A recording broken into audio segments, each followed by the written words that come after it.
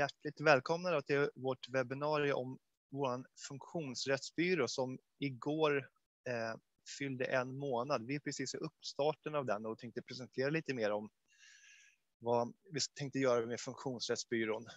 Eh, lite kort om upplägget idag. Eh, min kollega ska eh, dela presentation nu och lite mer Ehm, upplägg med tider och så. Men jag heter alltså Niklas Mårtensson och jag är moderator för dagen. Jag jobbar till vardags på Funktionsrätt Sverige som generalsekreterare. Och jag och min kollega Lena Falk kommer ha koll på chatten. Så jag tycker dela gärna innehåll och vad ni tänker och tycker om, eh, om själva eh, funktionsrättsbyrån och eh, planeringen framöver i chatten.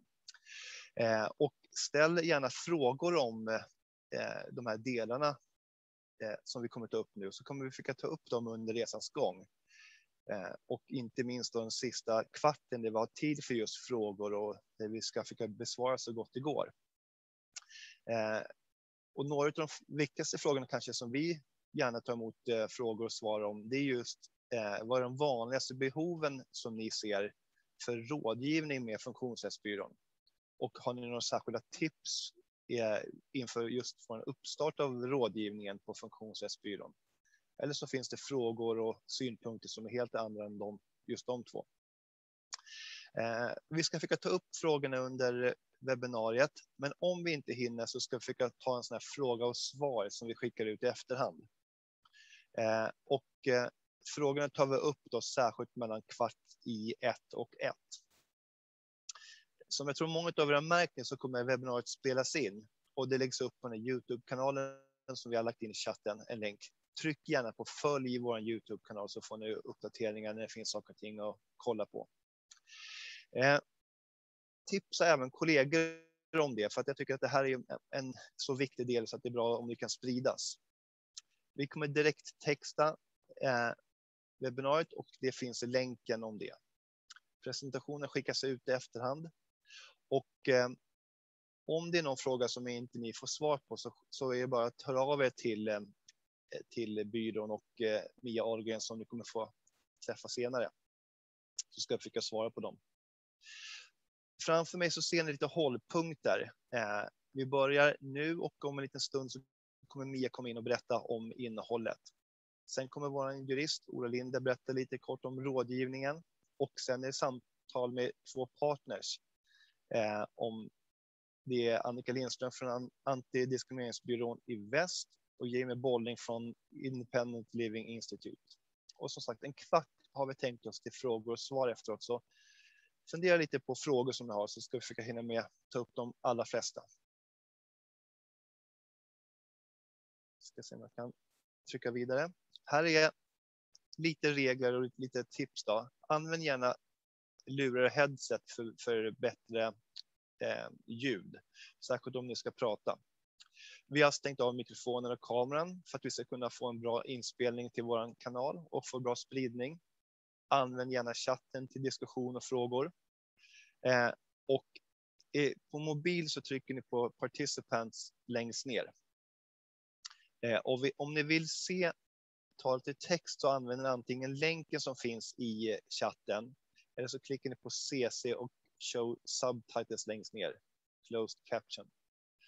Och eh, hör gärna av er om, i chatten om någonting inte fungerar så kan min kollega Lena eh, berätta det för oss så kan vi försöka hjälpa till så gott det går. Så går jag vidare. Eh, lite kort om oss. Många av er känner säkert till det, men, men vi jobbar ju eh, med eh, utifrån funktionsrättskonventionen som grund och den gäller ju i Sverige eh, sedan 2009. Funktionsrättskonventionen genomsyrar ju allt vårt arbete, även om vi bedriver det genom livets alla skeden och inom alla olika samhällsområden. Vi har 49 medlemsförbund, så vi, vi har ju många stora eh, utmaningar och vi har mångfald av förbund, så att, vilket är en styrka för oss. Eh, och vi jobbar tillsammans med de här frågorna. Vårt kongressmål är rätten till jämlik hälsa. Men då ser vi som att det är hälsofrämjande att ha en fungerande skolgång också, eller ett arbete, eller att få vara med i samhället på, eh, på samma sätt som andra får. Till exempel studier eller politiskt inflytande eller vad det kan vara. Och ytterst så är vårt mål ett samhälle för alla. Eh, vidare. Den sista saken jag vill ta upp nu innan jag släpper in Mia om Funktionsrättsbyrån, det är att vi jobbar ju utifrån respekt för rättigheter. Och det är en rapport som vi tillsammans med 110 organisationer har eh, gjort för att kunna se hur Sverige lever upp till den här konventionen jag pratade om, funktionsrättskonventionen, och hur, eh, vad som fungerar bra och kanske i många fall vad som inte fungerar bra och som vi som samhälle ska kunna förbättra. Och vi har 134 rekommendationer som vi jobbar för att kunna förverkliga och vi påtalar bristerna som finns i vårt samhälle för till exempel riksdag, regering, men även för myndigheter och partier och andra. Så gå gärna in på funktionsrättskonventionen.se eller funktionsrätt.se för att se vår webbplats. Eh, det är det kort jag tänkte säga och nu släpper jag in min kollega Mia Ahlgren. Varsågod Mia.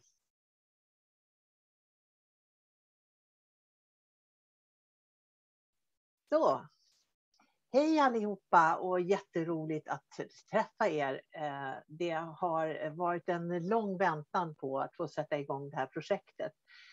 Eh, jag, eh, har, jag ska säga några ord om mig själv. Jag har jobbat på Funktionsrätt Sverige som projektledare och utredare sedan 2003.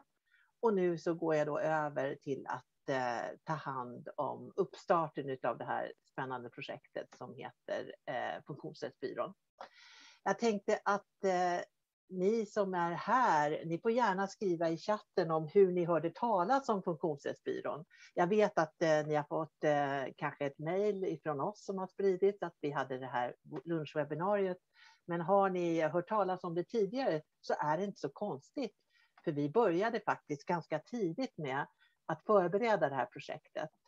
Eh, vår, en eh, praktikant vi hade som eh, studerade juridik, Hanna Johansson, och som också kommer från ett av våra medlemsförbund. Hon gjorde en förstudie eh, som är baserad på erfarenheter och intervjuer. Jag tror att det var 94 svar på en enkät som skickades ut. Så att eh, det är kanske några av er som har varit med och svarat på den eh, enkäten till och med. Eh, Sen har vi eh, också eh, en, eh, fått flera motioner från våra medlemsförbund. Vi har ju 49 medlemsförbund och flera av dem har också sagt att de skulle kunna vara intresserade av att stödja det här projektet efter de tre år vi har fått finansiering för. För att vi blev ju otroligt glada när vi till slut i april fick beviljat stöd från Allmänna arvsfonden. Och många av er har säkert jobbat med eh, arvsfondsprojekt tidigare, för att de flesta av er som är här idag kommer ju från funktionsrättsrörelsen. Eh, och då vet ni att en viktig sak för Allmänna arvsfonden, det är att eh, projekten ska leva kvar efter att de är avslutade. Och då brukar man prata om det som kallas för eh, guldkorn.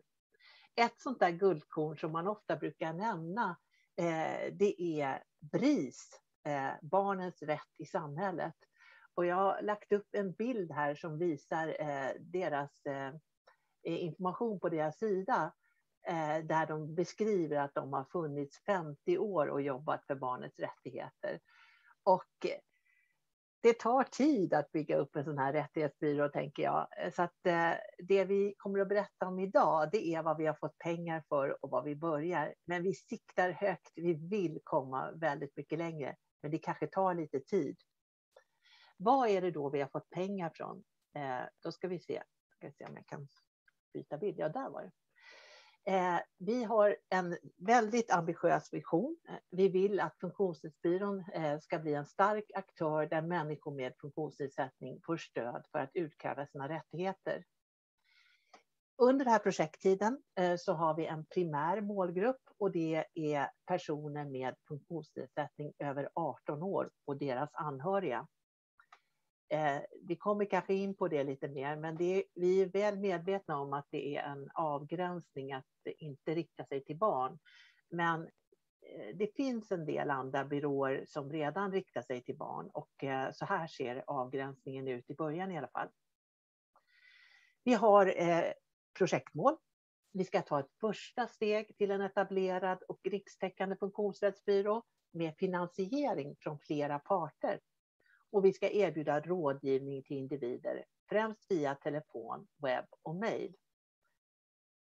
Vi ska ta fram en handbok där vi beskriver metoden för rådgivningen och vi ska ta fram en rättighetsdatabas för ökad kunskap om behov som människor med funktionsnedsättning upplever när de kontaktar oss.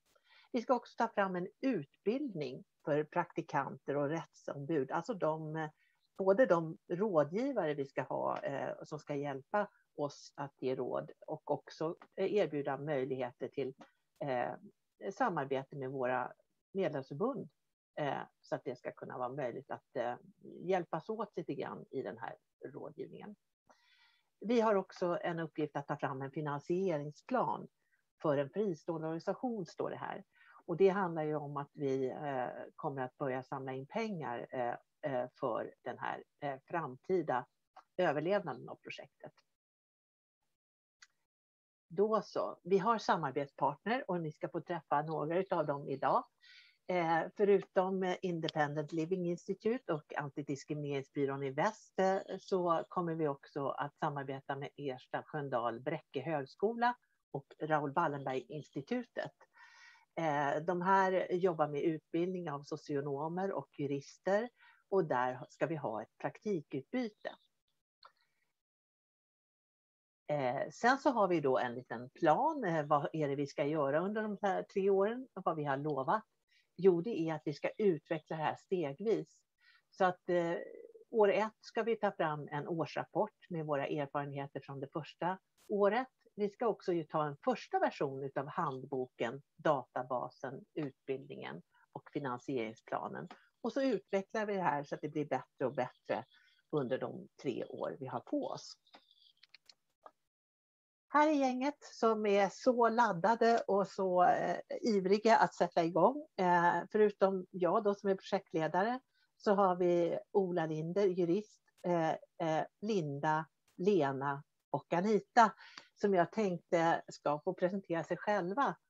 Så nu eh, ska vi börja med Linda kanske. Linda, har du lust att sätta på din kamera och säga hej eh, och berätta vad du ska göra i projektet?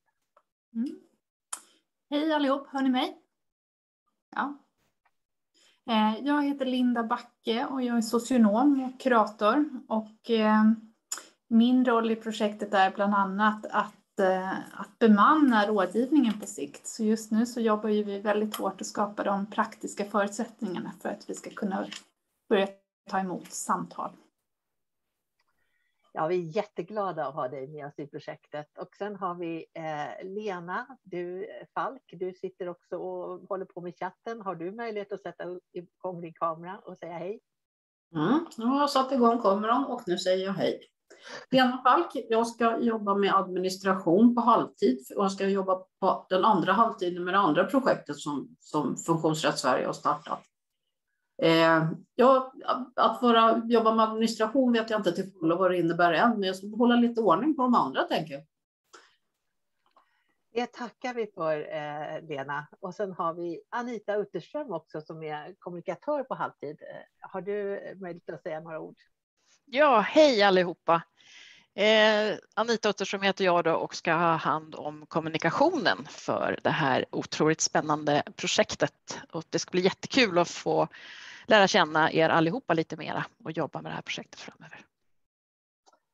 Tack så mycket. Och sist men inte minst så har vi Ola Linder. Eh, kanske har några av er träffat på Ola eh, tidigare, men du ska också, nu tar du över Ola och presenterar dig och eh, så ska jag se till att presentationen går framåt.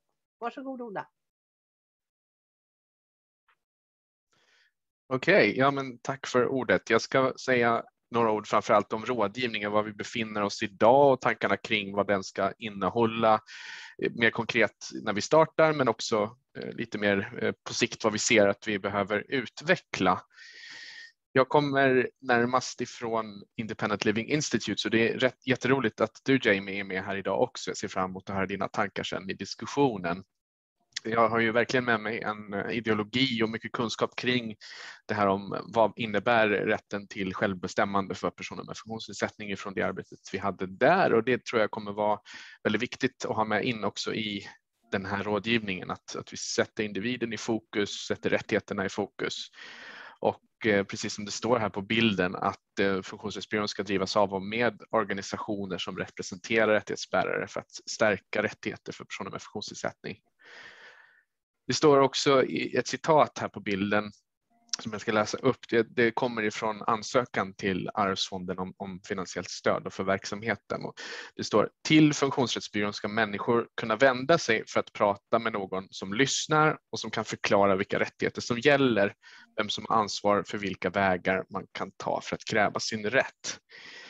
Och eh, det är ju ganska stort, eh, det är ganska ambitiöst, eh, så vi, har, vi, jobbar just nu på att konkretisera vad det är vi kan göra, vad vi har resurser till att göra och det kommer jag till på nästa bild alldeles strax, men vi behöver inte gå dit riktigt än, utan eh, precis som vi har sagt tidigare så är det ju ett utvecklingsprojekt. Vi behöver ta fram kunskap eller inventera kunskap mycket som vi har börjat göra Eh, och, och, både från förbund och andra organisationer. Och det är också jätteroligt att du Annika är härifrån Antidiskrimineringsbyrån i väst och den, den biten av vårt civilsamhälle som aktivt motverkar diskriminering är ett mycket viktigt jobb. Och vi ska också sätta individernas problembeskrivningar i, i, fokus för att kunna bättre bidra till strukturförändringar genom till exempel intressepolitiskt arbete. Och där blir naturligtvis de här rapporterna väldigt viktiga som tas fram varje år. Så det är en utgångspunkt att rådgivningen både är till för att eh, människor ska få bättre kunskap om sina rättigheter och hitta vägar framåt, att vi kan stödja på olika sätt i, i de olika processer som finns som individen går igenom. Eh, och att eh, vi också samlar in kunskap om, om de här berättelserna, de här situationerna som människorna befinner sig i just för att få ett lite skarpare kunskapsläge om om eh, rättighetssituationen i Sverige i praktiken idag. Mycket kunskap finns ju på statistiknivå, till exempel hur många personer upplever si och så eller hur många har tillgång till den och den insatsen eh, och sådana saker. Men, men vi, vi har inte kanske jättemycket kunskap om hur människor har det mer konkret när olika system samverkar. Då skulle vi nog kunna gå till nästa bild. Och eh, här har vi en bild som har rubriken planerad start vid årsskiftet och det är ju för att vi behöver ta fram en del olika praktiska saker som du sa Linda. Det är ju jätteviktigt att vi har saker som dataskyddsrutiner, eh, att vi har en tydlig etik, alltså en värdegrund som vi kan jobba med och där är det ju tydligt att vi utgår ifrån de mänskliga rättigheterna och inte minst då funktionsrättskonventionen och det innehållet. Vi har kommit fram till en preliminärt, ett preliminärt upplägg på hur vi ska göra det här med rådgivningen och det är att Linda, du och jag kommer att ta emot eh, samtal via telefon två gånger i veckan, en eftermiddag och en förmiddag. Vi har pratat om måndag eftermiddag och onsdag förmiddag. Vi får se om det håller sig när vi till slut går ut med själva rådgivningen när den startar. Men vi kommer naturligtvis också ta emot mejl, eh, både som en alternativ kanal för tillgängligheten men också att eh, det kan vara bra att inte bara ha de här telefontiderna utan att eh, det finns lite flexibilitet i det. Och de, de mejlen kommer vi också besvara och hantera på sinsemellan. Och jag tänker att det är jätteviktigt att säga det, att det, det är olika kompetenser som vi besitter och vi kommer att på sikt vilja ta in ännu fler kompetenser. Eh, att vi har både det här med att kunna navigera eh, myndigheterna, olika beslutsprocesser och eh, ett juridiskt perspektiv. Så vi har som grund här, här några punkter. Vi ska alltså som utgångspunkt lyssna på personernas berättelser, att aktivt lyssna och inte gå, dra förhastade slutsatser utan att ge det utrymmet. Vi kan eh, försöka vara något stöd till att prioritera problem, eh, alltså olika sakfrågor. Ibland kan det vara ganska komplexa situationer och ibland kan individer behöva det att sortera vad, vad är de olika sakerna i en större kontext eller vad är viktigast? Vad behöver hanteras först? Vi kan informera om rättigheter. Vi kan ehm, pratar både om internationella konventioner och funktionsrättskonventionen men också om den svenska situationen, alltså de lagar som korresponderar mot på olika sätt. Niklas, du sa inledningsvis att sedan 2009 gäller konventionen i Sverige och det, eh, det är lite frågan om vad vi menar med det för att den är ju inte gällande på så sätt att vi kan se det som en lag enbart, utan den är juridiskt bindande för Sverige gentemot de andra staterna och sen finns det ju ett åtagande att genomföra rättigheterna, till exempel genom lagstiftning och andra åtgärder. Och det är här som vi behöver se rättigheterna mot en svensk kontext och försöka navigera också det svenska. Det räcker inte bara med det internationella. Vi kan stödja individer med att förstå beslut och dokument från myndigheter. Det vet vi finns en efterfrågan på ibland, att eh, det inte är glasklart vad myndigheterna vill eller vad de menar. Eh, och vi kan naturligtvis också hänvisa till andra aktörer om vi ser att det faller utanför vårt direkta område eller att någon har bättre kompetens eh, på ett visst område. Så vi kommer ju naturligtvis att utveckla det här stegvis. Vi tänker också att ofta så behöver vi lite tid att efterforska vissa saker. Vi kan inte alltid svara direkt i ett samtal. Så det, det kan nog bli så att vi får jobba på att bygga någon sorts återkopplingsplan eller någon sorts handlingsplan för en individ. Men det är också en resursfråga för vi är ju två personer till en början så vi får ju se lite grann hur trycket blir och hur djupt vi kan gå i varje ärende. Så det är jätteviktigt att eh, poängtera det tycker jag i det här sammanhanget och det är bra att vi har det från början att vi behöver jobba fram en finansieringsplan. Så vi behöver mer finansiering för att kunna göra andra saker som naturligtvis är väldigt viktiga för att kunna jobba ännu mer effektivt med att säkerställa rättigheter i praktiken, inklusive strategisk processföring och processföring för individer. Vi kommer till exempel inte att vara ombud för personer i domstol och kanske inte, i alla fall inledningsvis, gå in och dialogisera med olika myndigheter och så, men det, det är ju framförallt en resursfråga och kompetensfråga också. Så jag tänker att eh, jag stannar där. Om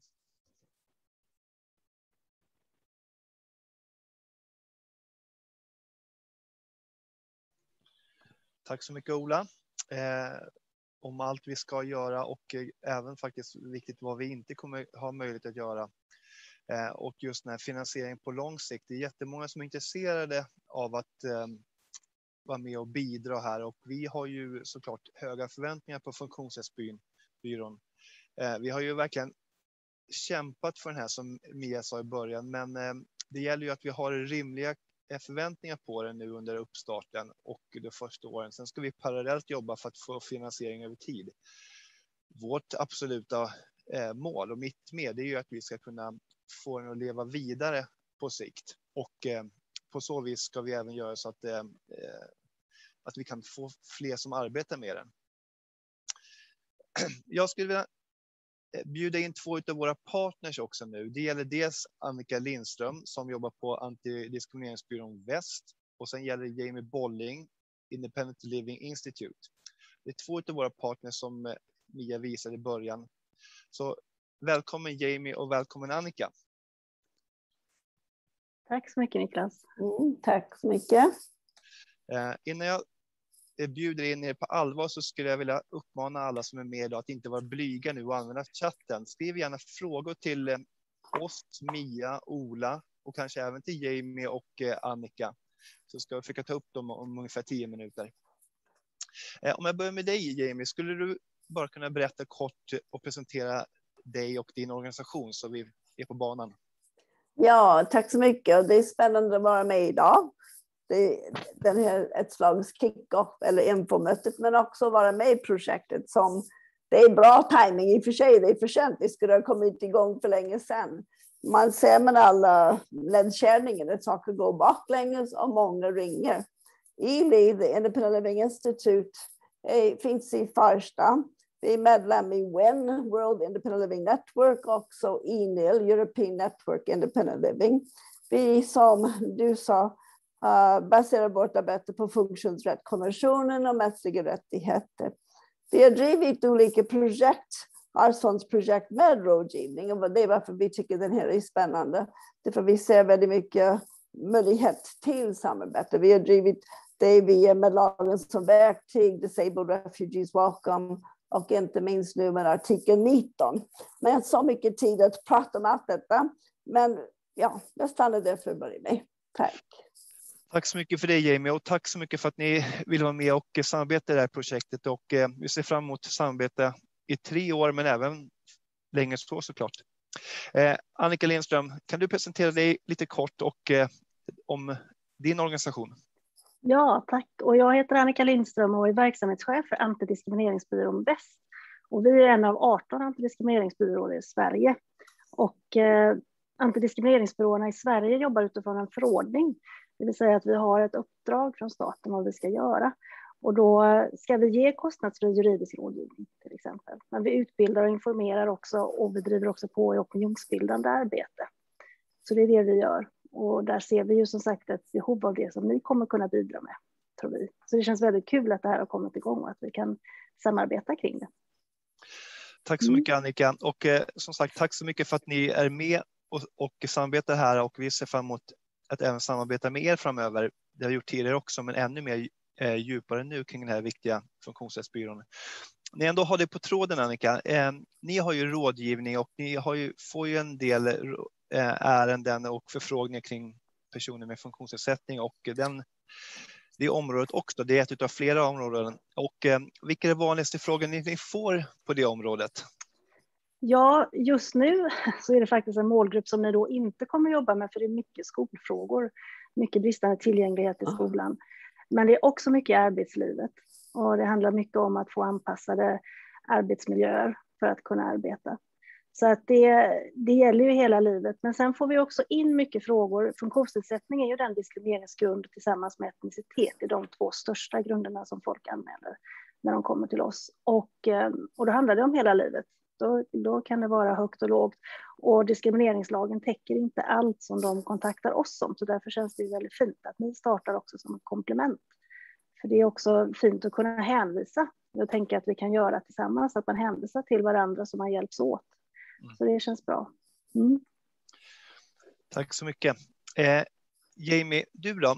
Eh, och eh, ni på ILI, hur, eh, hur, vad får ni för några rådgivningsfrågor och eh, hur kan ni tänka kring samarbete med, med byrån framöver? Men vi frågar den första. Vad får ni mest för eh, rådgivningsfrågor? Som jag började berätta, vi har haft olika projekt och har olika projekt, så det beror lite grann på vilka projekt de ringer för eller ringer om eller ringer som målgrupp till.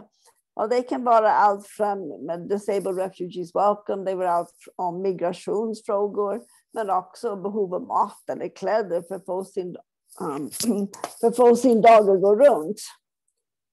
Mm. Inom artikel 19 det är väldigt mycket frågor om LSS och försämringen när man har förlorat assistans och, eller förlorat andra hemtjänster. Jag undrar om vi inte kommer att få samtal även för SRFs område. Så det är väldigt mycket som händer vad man ringer om. Um, de kan kontakta oss också för att kunna hjälpa till att överklaga deras beslut i, i någon på olika sätt. Uh, det, vi har frågor om vården där man har kanske inte som en asylsökande haft tillgång till vård, men behöver vård. Hur kan vi hjälpa till att hitta någon för att de kan få vård? Uh, det är lite en, så det är en, det är en, vi har ja, många frågor på olika områden som gäller. Så jag håller med Annika att det, det blir bra att komplettera varandra, därför man ser behovet mer och mer. Um, och det är också diskrimineringsfrågor, hur man driver sina, sina fall för diskriminering eller mot diskriminering. Så att kunna hänvisa, vi hän, inom det arbete vi gör, vi försöker svara så mycket vi kan, men vi har hänvisat väldigt mycket till BOSA, men också till andra funktionsrättsorganisationer, om det är en synskadad till SRF eller till unga, synska, unga synskadade, etc. etc. Så det behövs eh, kunskap om alla vi och alla som har olika kunskap om olika frågor för att kunna svara de personer som söker. Om det blir någon med en autism eller ja, det det är folk med alla olika saker, olika behov, olika funktionsnedsättning. Tack så mycket Jamie. Eh, och både du och Annika beskriver vad ni gör eh, och vad ni inte gör och att ni egentligen får mer eh, förfrågningar än vad ni har eh, möjlighet att besvara. Men om vi tänker på i relationen till, man ser det lite grann som pusselbitar, att vi kan hjälpa varandra här. På vilket sätt du, ser du att vi kan samarbeta kring funktionsrättsbyrån utifrån ditt och Ilis perspektiv? Men det blir det här att kunna hänvisa till varandra om det är en fråga vi tycker någon annan kan svara bättre eller kan komplettera eller referera med varandra bara, om man har en fråga för att kunna ställa den till er eller ni ställer den till oss. det blir den erfarenhetsutbyte som vi, ja, den erfarenhet vi har. Um, även, ja, jag vill inte ta den från Annika, så jag låter Annika prata också. Ja. ja, då frågar jag dig Annika samma fråga egentligen. Vad, ni för möjlighet, eh, vad ser ni för möjligheter genom den här funktionsrättsbyrån och utifrån ert perspektiv? Hur ska vi kunna samarbeta och egentligen eh, eh, göra saker tillsammans på ett mer effektivt sätt? Ja, men jag tänker det blir en kopia på Jamies svar egentligen. För jag tänker att det blir lite viktigt att dels att vi delar erfarenheter. För att jag tänker att det är viktigt. Vi ser ju vår rådgivning som en grund för vårt påverkansarbete till exempel. Vi får in vad det är som är problem i samhället och vad det är personer söker hjälp om och vad det är som inte fungerar och vad det är som fungerar. Eh, men också som eh, Jamie sa att vi kan hänvisa till varandra och det är kul att se att det är så många av era medlemsförbund här också för att precis som Jamie sa, man har ju sina spetskunskaper och i vissa frågor så är det det som krävs. I andra frågor är det mer generella rättsfrågor och då kan vi tillsammans hjälpas åt. Eh, och som du säger, det är pusselbitar. Det är ju hela liv som vi pratar om och vi har ju lagstiftning i Sverige som spretar lite och tar hand om det på olika sätt. Så det är ju bra om vi kan hjälpas åt, tänker jag. Tack så mycket Annika. Jag ska fråga, det är intressant att du säger att den största eh, är, om man tänker på diskrimineringsgrunderna, så är det funktionsrättsfrågorna, en av två åtminstone. Eh, mm. Och det är pusselbitar personers liv. Hur, hur många som hör av sig kring det har just det primära eh, med funktionsrätt eller är det en kombination av andra?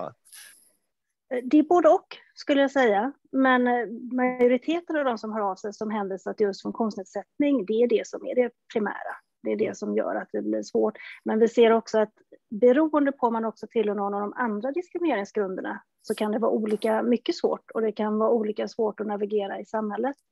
Eh, så att eh, personer som, som har flera diskrimineringsgrunder att anföra just, de upplever ju att det är tuffare såklart. Mm. Och idag när ni får de frågorna, hänvisar ni till medlemsförbund eller vad gör ni? Om det, om det är barn eller vuxna, eller hur, mm. hur gör ni? Nu har vi ju lyxen, vi finns ju i Göteborg, Antidiskrimineringsbyrån Väst, och då har vi lyxen att ha Funktionsrätt Göteborg där. Och Funktionsrätt Göteborg har ju ett individstöd som jag såg flimra förbi, de är här idag tror jag. Och eh, vi gör just, vi har den typen av samarbete att vi hänvisar till varandra och ibland så pratar vi med varandra om just erfarenhetsutbyte och hur kan vi stötta. Det är inte sällan som det är samma personer som hör av sig till oss i båda fallen, just för att de har komplexa ärenden och det kan röra väldigt mycket. Mm. Men sen precis som Jamie var inne på att vi absolut hänvisar också om det är spetskunskap som krävs, om det är att de behöver kontakta Autism Aspergerförbundet eller SRF eller mm. andra frågor. Så, sen är det ju olika, jag tänker, och det är därför känns kul att vi kan samarbeta kring det här eftersom att eh, de 18 antidiskrimineringsbyråerna har ju olika situationer kring det. Vilka kan vi hänvisa till och i vissa fall så finns det inga att hänvisa till. Så därför känns det som sagt eh, jättebra att det här kommer igång. Mm. Mm. Ja, tack så mycket för det och tack så mycket för att ni är med. Både eh, Antidiskrimineringsbyrån i väst och eh, ILI är med. Och eh, sen vet jag att det är många eh, funktionsrättsförbund och föreningar som är med här också som är villiga att bidra. Och jag tänker att eh, Funktionsrättsbyrån kommer inte jobba framförallt med diagnostik och frågor kring ett funktionsnedsättning eller kronisk sjukdom. Så att jag tänker att vi har mycket samarbete med framöver. Eh, Tack så mycket och jag ska släppa in min kollega Lena kring chatten om en minut. Men jag tänkte först fråga Mia. Eh, vi, på, vi från funktionsrättsrörelsen brukar jobba med olika frågor som rör hur vi ska kunna lyfta intresse, politiska frågor och rättsfrågor och kommunikationsfrågor kring hur vi ska kunna få det bättre i samhället generellt sett. Sen kan man ju klä det i vilka ord man vill socialtjänst eller om det är arbete eller skola eller så. Då undrar jag så här, den här eh, er databas låter ju jättespännande för att det vi ofta får emot oss är ju det här, men finns det ingen statistik? Har ni inget underlag eller på vilken grund säger du det här? Då tänker jag, hur kan vi på Funktionsrättsbyrån, men även våra medlemsförbund och andra funktionsrättsförbund använda sig av den här på sikt? Ja, alltså tanken är ju att eh, vi vet ju att det finns en massa rådgivningar överallt och frågor som kommer in. Och det som är viktigt för oss är att vi ska logga varje samtal. Så även om, det säger jag till er nu som eh, hörde från Annika, att det är mycket som rör barn och skola. om det kommer in samtal om skola så kommer vi att logga det.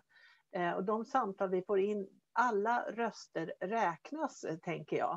Så att eh, vi ska föra statistik över de samtalen och, och, min förhoppning, eller vår förhoppning i projektet är ju också att vi ska kunna med hjälp av samarbeten ta, med, ta, liksom, ta vara på den här kunskapen vi får ifrån de som ringer in.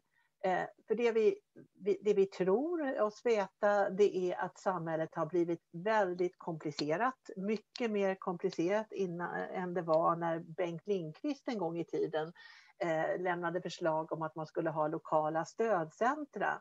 Eh, som jag vet också att Jamie har tittat på utvärderingar av sådana projekt. Så att kan, vi, kan vi hjälpas åt att samla den här kunskapen från alla de människor som upplever hinder och som blir hänvisade runt till olika och det är svårt att veta vem som har ansvar så tror vi att vi kommer att kunna påverka också och lyfta fram den här kunskapen till de som bestämmer över samhället och visa på eh, de här luckorna. Förutom att vi givetvis ska lyssna på varje individ. Mm. Tack så mycket och ställ som sagt frågorna i chatten. Jag ska ställa en sista fråga till dig Mia, just om det du sa där med barn och ungdomar och skolfrågor. Vi, vi säger så att vi har Funktionsrättsbyrån har ju tänkt att samarbeta med frågor som eh, förbund och även byråer som har det som sin, eh, sin främsta verksamhet. Inte sant? Ja, alltså, vi, vi, jag vill betona att vi, att vi har så jättestor ambition vad vi vill göra. Vi ser de stora behoven, men vi kommer att jobba stegvis och kommer att bygga samarbeten där vi tillsammans kan eh, se till hur vi ska göra det här på ett bra sätt. Men jag tror också att, eh, att, att även andra rådgivningsställen har de här utmaningarna och att vi kan hitta gemensamma eh, sätt att, eh, att bygga det här tillsammans. Så att, jag vet inte om det var något annat du tänkte jag skulle säga. Nej. men det var, Nej, men... det var så jag tänker i alla fall. Mm, ja, men det, men det, så är det ju och dessutom vi har ju många andra organisationer som jobbar med de här frågorna, till exempel BRIS har vi pratat om tidigare som ett exempel, men sen finns det ju till exempel eh, våra medlemsförbund och andra funktionsrättsförbund och barn och elevombudet och det finns ju eh, andra som vi kan samarbeta med kring där.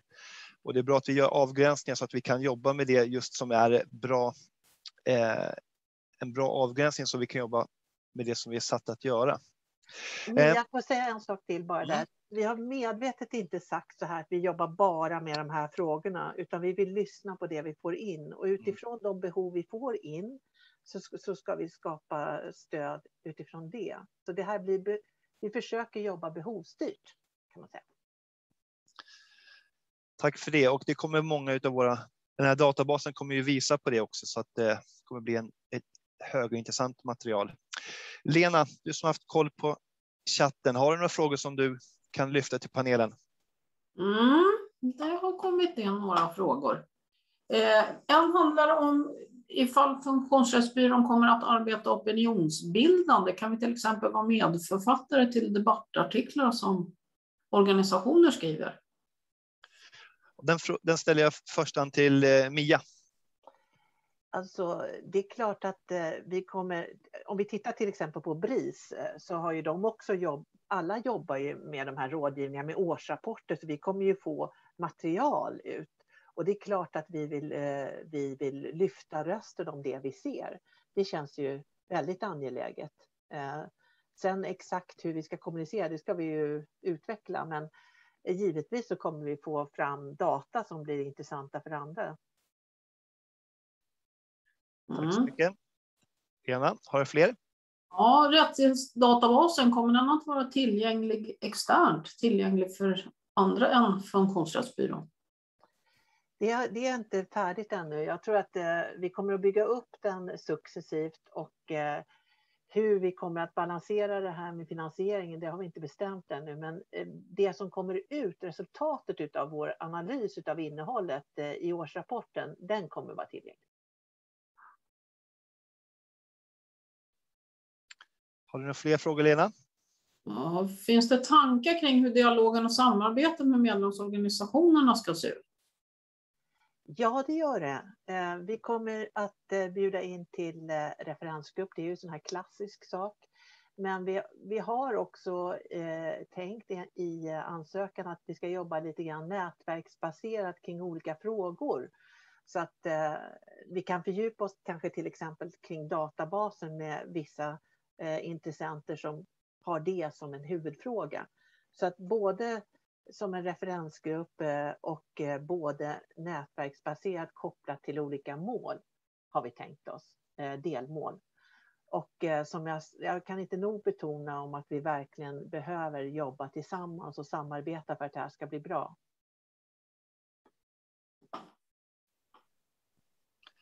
Tack så mycket. Eh, Lena, har vi fler?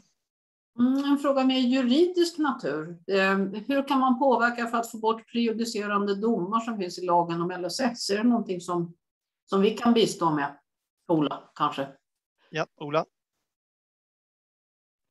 Ja, tack för frågan. Det är ju en jättesvår fråga. Jag tänker att det är både en juridisk fråga men framförallt kanske en politisk fråga. Att när vi ser en praktik som begränsar rättigheter så är det kanske inte nödvändigtvis den juridiska vägen. Det, det, det, går ju alltid att driva fall för att utmana prejudikat, att driva liknande fall och försöka få till en annan tillämpning. Men eh, precis som vi har sett till exempel i assistansfrågan om det här med vissa delar som eh, tillsyn, egenvård, föräldraansvar så är det ju alldeles utmärkt att eh, ligga på politikerna för att kräva förändringar. Och jag tror att det går att göra med många fler frågor också, vilket jag vet att många andra förbund gör. Så sam, samverkan, juridik, politik tror jag är viktigt att, att undersöka närmare och ha med som, som analysverktyg också. Tack så mycket. Lena, har du några fler? Mm. Vilken typ av frågor kan man inte gå in i? Eller, eller, det, det var ju en bred fråga, men Ja, jag tror redan var inne lite på några av frågorna. Eh, Mia, ska du svara på den eller ska jag, jag ta den? Ta den du, för jag uppfattade inte riktigt frågan. Nej, men, vi har ju några frågor som vi... För det första har vi, kommer vi få...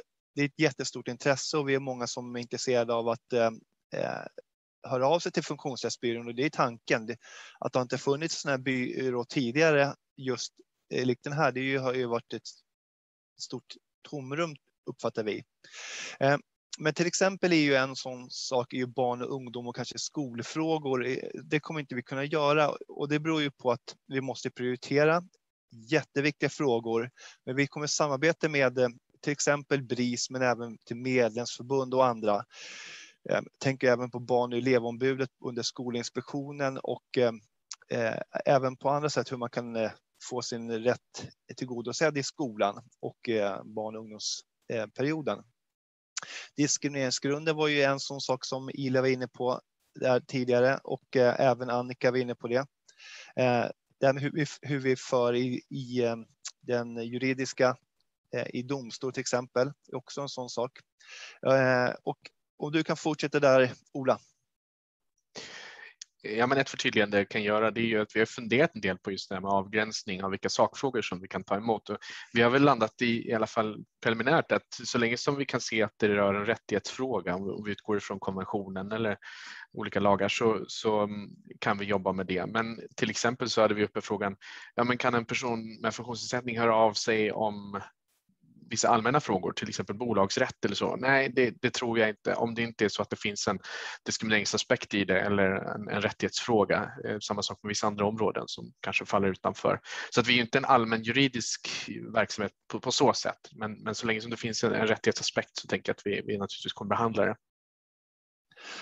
Tack Ola. Och även i det fallet som det som du ditt exempel, då, även då loggar vi det som, ett, som en fråga, även om vi inte kommer gå vidare med den i rådgivning. Och jag tänker att just rådgivning, om man har det framför sig så är ju det, eh, om, om det är rätt område så är det ungefär den nivån vi kan tänka oss. Vi kan inte gå allt för djupt just nu i alla fall. Sen eh, efter de här tre åren kanske. Sen skulle jag säga en sista sak också apropå frågan vad vi inte kan göra och det är ju det här med eh, Eh, frågor om diagnos eller eh, kopplat till funktionsnedsättning eller kroniska sjukdomar. Det är ju någonting som våra medlemsförbund gör. Frågor om till exempel eh, reumatism, eller vad det kan vara, blodcancer, sådana frågor hör man av sig till respektive förbund och det kommer vi helt enkelt hålla oss till att vi hör av oss till medlemsförbunden och skicka vidare. Jätteviktiga frågor, men där litar vi på våra medlemsförbund eller andra medlemsförbund, SRF till exempel, deras expertis. Lena, jag ser att vi, vår chatt börjar gå varm nu, vilket jag uppskattar. Har du några guldkorn? Mm. Hur, hur, kommer ni att förhålla er till DO, Diskrimineringsombudsmannen? En fråga här. Ola eller Mia? Mia ser, ut, ser sugen ut. Ja, alltså jag, jag, jag, jag måste, som projektledare så vill man ju att vi ska komma igång och att alla ska eh, men vi måste komma ihåg, vi har gjort en månad ännu så länge, så att det, alla är med på det. Eh, jag tror, vi har haft eh, möten, Funktionsrätt Sverige, med DO eh, och eh, det är klart att vi kommer att ha kontakter med olika aktörer, men exakt hur det kommer att se ut i detalj, det är svårt att svara på idag. Men personligen, om jag tänker så här, vad skulle det kunna vara? Ja, det är ju intressant att veta hur gör DO till exempel när man loggar sina, vad är det man tar reda på, vad är det man får in, alltså kring den här, finns det saker man kan samarbeta kring där? Eh, men, men Ola, du har säkert någonting smartare att säga än vad jag har. Någonting ännu smartare, du har hög press på det Ola. Ja, det känner jag också. Det vet jag inte om jag har. Men jag tänker att det, det, det beror lite på vad som menas med hur vi förhåller oss till dem. Det är ju en myndighet som vi, vi naturligtvis ser gör saker som är viktiga. Sen eh, kanske i alla fall jag personligen tycker att det går att kritisera en del av de prioriteringar som görs så att man inte sätter individen i fokus lika mycket som, som jag tycker att man borde. Däremot så har vi sett att det finns eh, en ny ledning och eh, att den kommer att sätta individen mer i fokus, vilket vi tycker är positivt. Så det, det kanske utvecklas också hur vi kan samarbeta med konkret. Eh, för tidigare har det nog varit relativt stängt, eh, men, men i alla fall formella samarbeten med civilsamhället. Tack så mycket Mia och sen Ola. Eh, Lena? Mm. När tror ni att ni kan öppna rådgivningen? Mm, då tror jag att det är bra om du Mia kan ta den. Ja, nej men vi har ju tänkt att vi ska sätta igång vid årsskiftet och det är bra att vara tydlig med det. Att eh, det är vår ambition att vi ska starta med rådgivningen. Jag tror Ola sa det, men det tål att upprepas. Eh, ungefär eh, två gånger i veckan. Vi har tänkt oss en förmiddag och en eftermiddagstid eh, per telefon och att vi ska ha möjlighet, eh, man ska vara möjligt att kontakta oss via mejl.